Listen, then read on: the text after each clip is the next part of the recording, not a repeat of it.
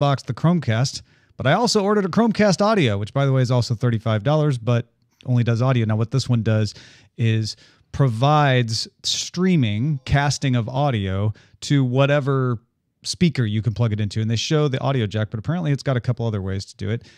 Same little zipper form factor with the instructions for installing cleverly on the card like that. Chromecast was the same way. All right, so we open it up, and I always do that. I open it up right to the uh, to the power dongle, which looks exactly the same as the Chromecast.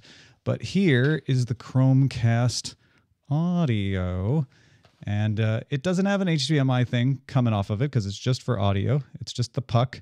But you can see it's got a, uh, a uh, port for your mini jack and it's got a port for your USB to plug it in for power, which again is going to make it a little, little awkward. And I suppose that if you want to support surround sound and all that other stuff, you're going to have to buy an adapter.